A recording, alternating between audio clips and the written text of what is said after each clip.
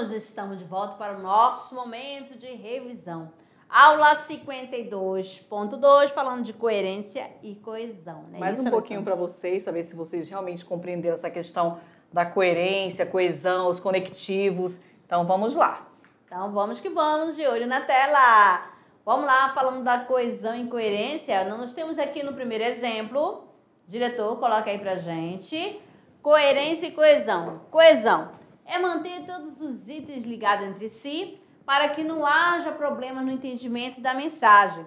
Tem a ver com o uso correto das regências verbais e nominais, por exemplo. Se você faz um uso, se você vai usar um verbo e esse verbo perde um sentido e você esquece de colocar qual a preposição adequada, é claro que vai ter erro de, de regência verbal e a concordância e de regência nominal também. E para escrever uma produção, uma dissertação, é necessário que você saiba, né? Saber introduzir, que é o momento que você vai apresentar o seu assunto, a sua tese. E o desenvolvimento é, que, é quando você vai usar o, os argumentos de causa e consequência, tudo dentro do desenvolvimento. E a conclusão é o fechamento. Exato. E aí nós temos a coesão, regências verbais e nominais e também a semântica. Então, a coesão, pessoal, é manter todos os itens ligados entre si para que não haja o quê? Problemas no entendimento da mensagem. Às vezes você quer passar uma mensagem e aí, dependendo do que você vai utilizar, você acaba passando outra que não é a desejada. Tem a ver com o uso correto das regências verbais e nominais. É a ligação harmoniosa entre os parágrafos aqui, envolvendo a introdução, o desenvolvimento e a conclusão. E coerência tem a ver menos com a gramática e mais com a semântica, ou seja, com o sentido, com o significado. O texto deve ser mantido numa mesma linha de raciocínio lógico, não deve se contradizer, a não ser o que o faça de propósito, com um objetivo. Coerência, a compatibilidade de sentido entre duas partes do texto. Aí nós temos a coesão, que está para a sintaxe, assim como a coerência estará para... Para a semântica, tá? Ara, mas é para aí, tá bom, Exato, bem aqui, ó. Aí nós temos Para. aqui, sem coerência e sem coesão, ó. O barranco desaba, fiz as tarefas, ai... Quantas aves na cabeça? Aviões despejo bombas, caviar na boca do, bendi do mendigo. O que, que tem a ver, né? Uma, coisa, com a outra? Então não tem sentido e não tem nexo. Nada, tudo fora. Coerência, compatibilidade de sentido entre duas partes do texto. Sem coerência e sem coesão. Pode acontecer com coerência e sem coesão. E também pode ter sem coerência e sem coesão também. E as formas de coerência, ela pode ser externa, interna, argumentativa, temporal, visual, verbo visual e narrativa. Muita informação para vocês, mas é, fica bacana quando vocês vão colocá-las em prática. Você vai escolher como eu quero fazer, quais os conectivos que eu preciso utilizar para que o meu texto tenha coerência. Exato. Então, amadinhos, ficamos por aqui. Daqui a pouco a gente volta com as atividades. Até lá. Tchau.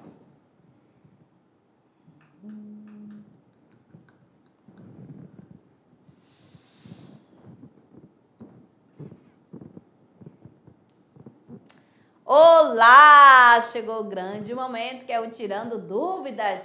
Resolução da atividade de sala. Preparados? Vamos ver quem acertou aí todas as questões. A primeira questão, pessoal, ela traz assim: sobre a coesão textual, estão corretas as seguintes proposições. Primeira, a coesão textual está relacionada com os componentes da superfície textual, ou seja, as palavras e frases que compõem um texto. Esses componentes devem estar conectados entre si em uma sequência linear por meio de dependências de ordem gramatical. 2. A coesão é imaterial e não está na superfície textual. Compreender aquilo que está escrito dependerá dos níveis de interação entre o leitor, o autor e o texto. Por esse motivo, um mesmo texto pode apresentar múltiplas interpretações. 3. Por meio de uso adequado dos conectivos, dos mecanismos de coesão, podemos evitar erros que prejudicam a sintaxe e a construção de sentido do texto. 3.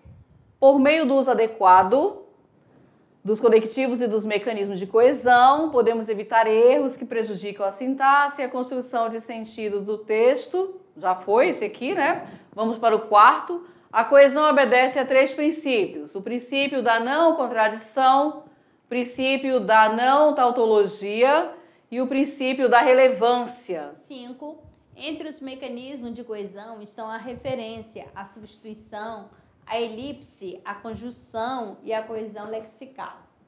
E agora? Apenas a 5 está correta? A letra B, 2 e 4 estão corretas. C, 1 um e 3 estão corretas. D, 2, 4 e 5 estão corretas. E, 1, 3 e 5 estão corretas. Qual é a alternativa? Nós temos aqui a alternativa, a letra E, que é a 1 e a 3 e a 4 estão corretas, né? Bom, a gente vai ler aqui a 3 e a 4, que estão deste lado, para você observar. Por meio de uso adequado dos conectivos, do mecanismo da coesão, podemos evitar erros que prejudicam a sintaxe. Lembra que a, a coesão está para a parte gramatical, da questão da regência, e a construção do sentido do texto.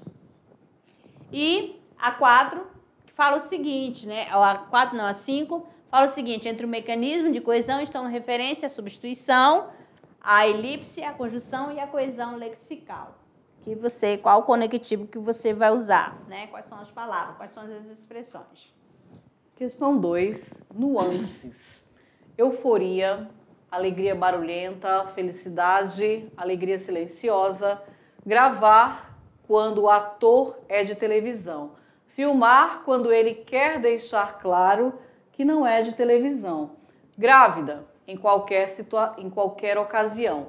Gestante, em filas e assentos preferenciais. Guardar na gaveta, salvar no computador, salvaguardar no exército, menta no sorvete, na bala ou no xarope, hortelã na horta ou no suco de abacaxi, peça.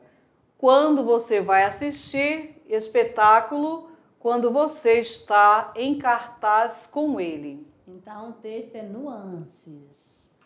Aqui nós temos, o texto trata de dar diferença de sentido entre vocábulos muito próximos.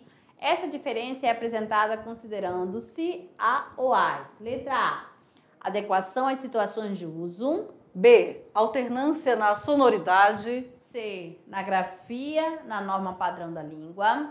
Letra D, categorias gramaticais das palavras. E, marcação flexional das palavras. Então, A, B, C, D ou E, nós temos aqui a letra letra A, né, que é a adequação a. às situações de uso, né? Quando fala gravar, opa, é, vai estar tá fazendo novela. Filmar, já disse que quer dizer que não está fazendo novela, mas sim um filme. Tem aquela dependendo da situação. Beleza? Vamos ver aqui agora a questão 3, que fala o seguinte: na primeira, uma andorinha só não faz verão. 2. Nem tudo que reluz é ouro. 3. Quem semeia ventos colhe tempestades. E 4. Quem não tem cão caça com gato. Olha só os provérbios. As ideias centrais dos provérbios acima são na ordem. A. Solidão, prudência, punição, adaptação. B. Cooperação, ambição, consequência, dissimulação. C. Egoísmo, ambição, vingança, falsificação. D. Solidariedade, aparência, vingança e dissimulação. E. Cooperação, aparência, punição, adaptação. E aí? A, B, C, D, O, E. O, e. Você quis ficar fácil. Essa é né? boa né? Cooperação, ó, uma andorinha só não faz verão, ou seja, no coletivo, é, né? Ou vai todo mundo, ou sozinho não consegue, né? Ó, então nem tudo que reluz é ouro. Opa, veja, ai, que coisa linda, tá brilhando demais, é um ouro, mas não, só que não, né? Ouro nem brilha. Aí, quem semeia ventos colhe tempestade? É a questão da punição. E quem não tem cão, caça com gato é adaptação. Adaptação. Muito fácil, né? Então, vamos lá para quatro. Cultivar um estilo de vida saudável é extremamente importante para diminuir o risco de infarto, mas também de problemas como morte súbita e derrame. Significa manter uma alimentação saudável e praticar atividade física regularmente já reduz por si só as chances de desenvolver vários problemas. Além disso, é importante para o controle da pressão arterial, dos níveis de colesterol e de glicose no sangue. Também ajuda a diminuir o estresse e aumentar a capacidade física, fatores que, somados, reduzem as chances de infarto. Exercitar-se nesses casos com acompanhamento médico e moderação é altamente recomendável. Então, vamos ao comando. As ideias veiculadas no texto se organizam estabelecendo relações que atuam na construção do sentido. A respeito, identifica-se no fragmento que, na letra A, o conectivo, mas também inicia a oração que exprime ideia de contraste. B. A expressão além disso marca uma sequenciação de ideias. C. O termo como e como morte súbita e derrame introduz uma generalização. D. O termo também exprime uma justificativa. E o termo fatores retoma coesivamente níveis de colesterol e de glicose no sangue. A, B, C, D ou E. Olha só, falando da questão, né? O que, que vocês marcaram aí? A letra B. Além disso, marca uma sequenciação de, de ideia, né? Vai, além disso, quando você está com alguém, né? Vai falar alguma coisa além disso, fez isso, mais isso, mais isso. Aí você vai, aí vai, né? vai ampliando aí. Tá certo? Vamos lá agora, amados, para o nosso Se Liga no Enem. Aqui nós temos um texto, Laços de Família, de Clarice Lispector tá certo? Preste atenção, muita atenção agora na leitura. Os filhos de Ana eram bons, uma coisa verdadeira e sumarenta. Cresciam, tomavam banho, exigiam para si malcriados instantes cada vez mais completos. A cozinha era, enfim, espaçosa. O fogão enguiçado dava estouros. O calor era forte no apartamento que estava aos poucos pagando mas o vento batendo nas cortinas, ela mesma cortara, lembrava-lhe que se, se quisesse podia parar e enxugar a testa, olhando o calmo horizonte. Como um lavrador, ela plantara as sementes que tinha na mão, não outras, mas essas apenas. Olha aí. A autora emprega por duas vezes o conectivo mas no fragmento apresentado observando aspectos da organização, estruturação e funcionalidade dos elementos que articulam o texto. O conectivo mas, primeiro ano. Letra A, expressa o mesmo conteúdo nas duas situações em que aparece no texto. B, quebra a fluidez do texto e prejudica a compreensão se usado no início da frase. A C. Ocupa posição fixa, sendo inadequado seu uso na abertura da frase. D. Contém uma ideia de sequência temporal que direciona a conclusão do leitor. Ou a letra E assume funções discursivas distintas nos dois contextos de uso. O que, que vocês marcaram aí? Olha o mais. Mas, mas, letra O assume funções discursivas diferentes, né? Nos dois uso. Você sabe que tem a polissemia das conjunções, tá certo? Uma polissemia pode ter vários sentidos. Ou pode ser de adição, ou pode ser de adversativa, não importa, tá bom? Você tem que ter, sempre quando você for ler uma expressão, a frase, você tem que prestar atenção. Qual é o sentido que está empregado o conectivo? Beleza? Acertaram tudo? Parabéns, então. Muito bom. Vamos para o nosso clube de leitura. Aqui, olha só, Pedro Bandeira, a marca de uma lágrima. Ai, professora, a senhora mudou a capa. Mudei. e vocês, já leram? Já pegaram? Já estão aí terminando? já discutiram do que se trata, né? Olha com vocês, hein, gente? Tá Exato. terminando. Uma hora ele fala que tem 13 anos, uma hora a Isabel tem 14, é porque assim, é adolescente. Tanto que esse, essa obra é infanto-juvenil, amadinho. Para os senhores aí, Exato, né? é para a idade de vocês mesmo, né? Aí, quem, quem que não já foi numa festa e de repente, opa, gostou da amiga da prima? ou do amigo do, do, do, primo, e assim. Se apaixonou, a outra foi à frente, uma Ou confusão. às vezes, ah, tá falando, ah, eu gostei daquele garoto, quando chega lá, lá o garoto nem gosta de ti, vai gostar da tua amiga. Quem já passou por isso? Ai, então, confusão, aqui você vai encontrar. Por isso que é a marca de uma lágrima. lágrima. É muito sofrimento para uma pessoa só. Tão jovem, né? Bom, aqui nós temos então a Escola Maria de Abreu Bianco, da extensão Tancredo Neves, professor Elias Luciano, distrito de Vila União. Nós temos também a Escola Tubarão, Vale do Paraíso, professor Anésio. Ei, professor Anésio, vamos mudar de foto? Cadê? Mais foto pra gente. para vocês, hein? Ah, não. E a Escola Tupã, da Crédito de Paraná, distrito de Nova Colina, professora Rosângela Sony. Vamos lá, também. Tem mais? Sônia, Tem mais? Mais foto, mais registro. Agora é a Escola Cláudio Manuel da Costa, governador Jorge Teixeira, do professor Marcos, com a sua turminha. Tá certo? Professor Marcos, vamos dar de porta, vamos uma, uma outro registro. Vamos lá, estamos aguardando. A leitura desempenha um papel honroso, nos faz viajar na imaginação. Exatamente, sempre, né? Sempre, Você viaja sempre. sem sair Do lugar. do lugar. Conhece vários, vários, vários. Usa a sua imaginação. Belezinha? Então, amados, quando a gente fica se cobrando dos professores, cadê os novos registros?